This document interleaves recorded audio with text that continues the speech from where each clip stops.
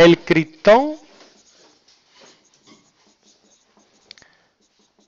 tiene dos isótopos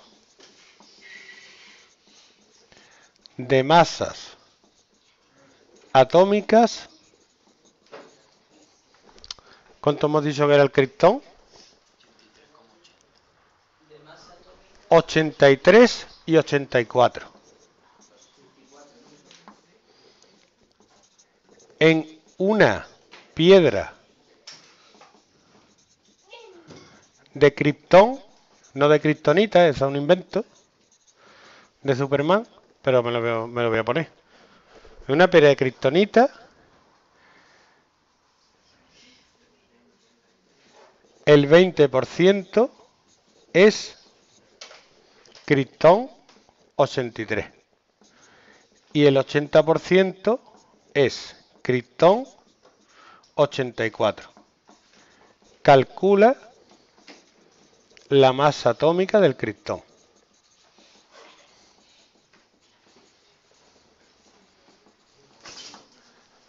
Muy importante, dato muy importante, si lo usaran Spiderman y Superman, ganaría Spiderman porque eso hace unas telarañas de kriptonita y ya está.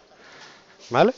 Entonces, ¿cómo se calcula la masa atómica? Se hace una media ponderada según los porcentajes. Es decir, yo cojo y digo entre 100 y digo el 20% pesa 83 y el 80% pesa 84. Y ya está. Entonces sería lo mismo que hacer el 20% por 83 más el 80% por 84. Y esto da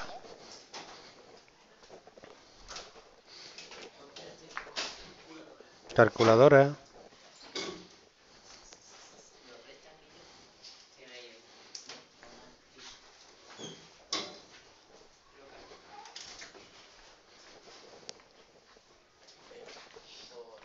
Ese ejercicio creo que lo copiéis.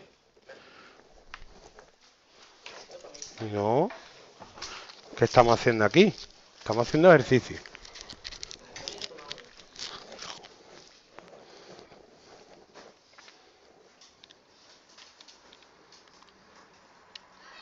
Da 8,38. Digo 83,8. Que si os fijáis, es lo que viene en la tabla periódica. O sea que yo no me lo he inventado. Hay dos isótopos, uno 63 y 64, y una piedra de criptón siempre aparecen así.